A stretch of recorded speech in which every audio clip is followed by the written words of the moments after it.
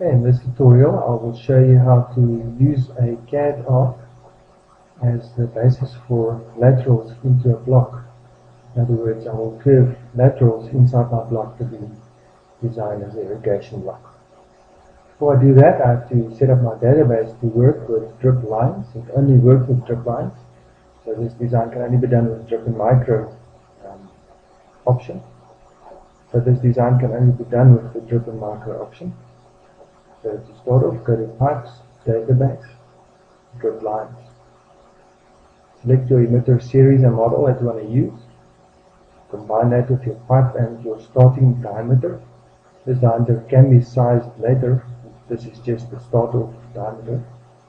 Press Add. You have to make your dripper line name unique, so type in a new name. I would typically um, use the manufacturer description this will also be used on my report later. And then I will put in my flow just to identify it. And I will also put in my emitter spacing because that could be the same emitter spacing for different sizes and different flows. So you want to make it absolutely unique. Put in your emitter spacing.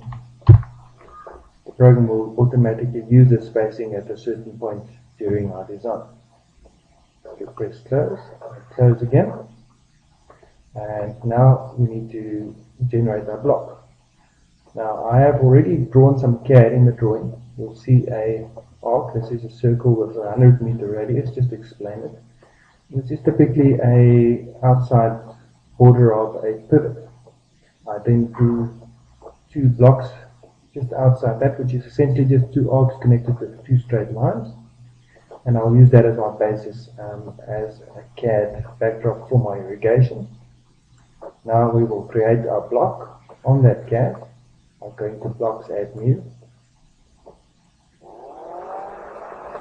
And I will use my trackline snap mode. Before I hold my cursor, I will hold it on the arc. It drags the arc there, and then I drag the arc on that side, and then I right click.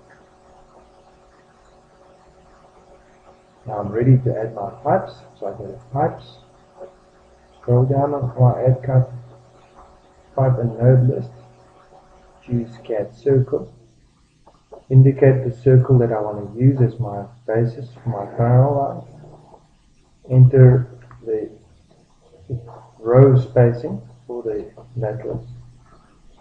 You put in a comma and, and an additional value that could be used as your tram line, so it could be a 2.5 meter line and then immediately after that 0.5 and then it will be 2.5 meters again. I'm just going to say 2.5 meters and okay. And then it allows me to select the drip micro line that I created in the earlier step. I have to choose my nozzle according to the flow that I want at each emitter, my design pressure for my block, and then I look at my emitter spacing, you'll see if I choose a different pipe with a 0.75, that emitter spacing is updated. So this just helps me to even out possible finger errors because the drip line was created with a, with a specific emitter spacing that is then used in this instance.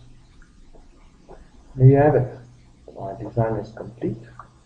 I now need to add my subplane and my valve and I can continue designing this block.